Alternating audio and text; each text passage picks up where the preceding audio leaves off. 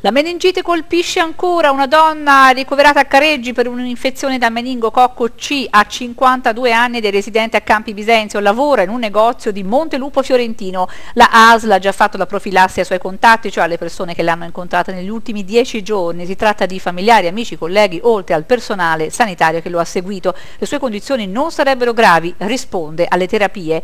La paziente per motivi di lavoro tutti i giorni prendeva il treno alla stazione di San Donnino alle 8.32 per andare a Montelupo Fiorentino per poi riprenderlo la sera alle 16.53. Esclusivamente per chi ha condiviso con la signora il viaggio in treno nel suddetto tratto, nei giorni tra il 26 gennaio e il 4 febbraio è raccomandata la profilassi antibiotica.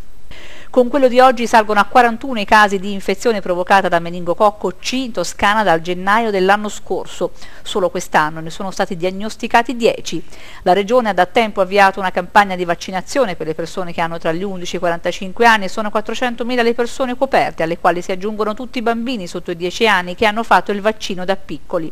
Gli altri possono comunque avere il farmaco, pagando 58 euro se si rivolgono all'azienda sanitaria oppure 98 euro se lo fanno privatamente paziente.